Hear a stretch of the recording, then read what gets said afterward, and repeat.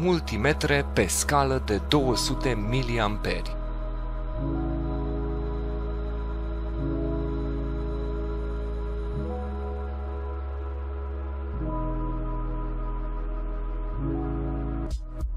Trecem acum la realizarea montajului. Se leagă elementele în circuit, rezistențele. Se pun bateriile în soclu,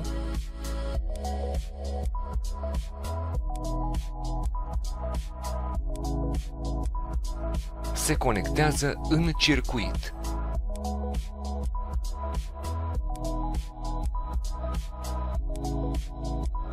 Conectăm aparatele de măsură.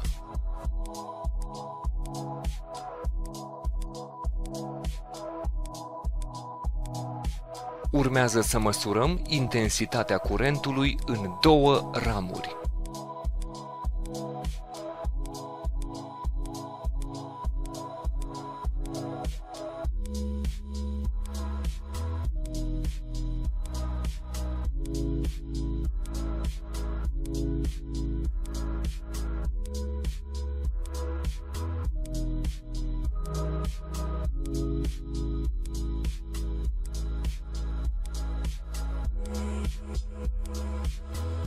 Apoi, măsurăm intensitatea curentului în a treia ramură.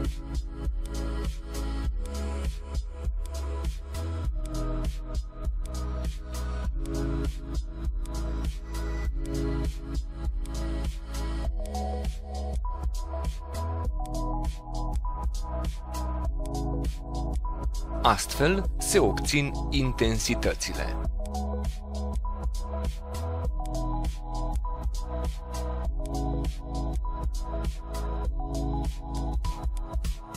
Continuăm prin a regla un multimetru pentru măsurarea tensiunii continue până la 20 V.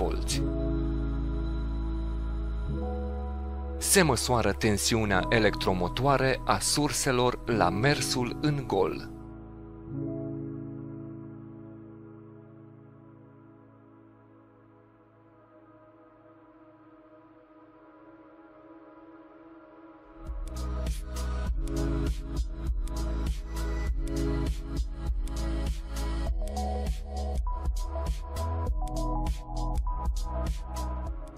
Se verifică legile lui Kirchhoff pentru rețeaua dată. Se pot face mai multe măsurători cu alte rezistențe, cu alte surse. La bobina exterioară se cuplează un bec de 3,5 volți.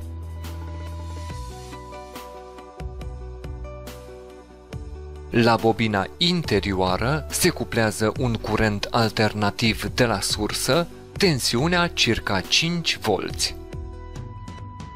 Se reglează un multimetru pentru măsurarea tensiunii alternative până la 20 volți și se conectează la bornele bobinei interioare.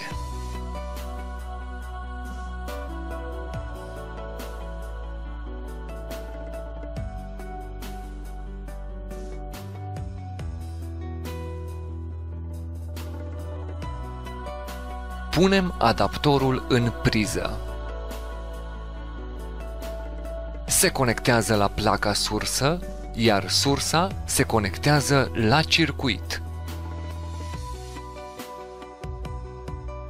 Se observă funcționarea normală a becului și se notează indicațiile voltmetrului de la sursă, U 0,38 volți se observă că becul funcționează normal, deci tensiunea la bornele sale este de circa 3,5 volți. Se urmărește numărul de spire de la cele două bobine, 80, respectiv 800 de spire.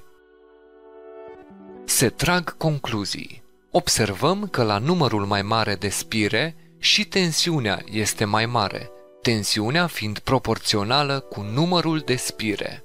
Pe măsura scoaterii bobinei interioare, scade intensitatea cuplajului inductiv. Becul va lumina din ce în ce mai slab.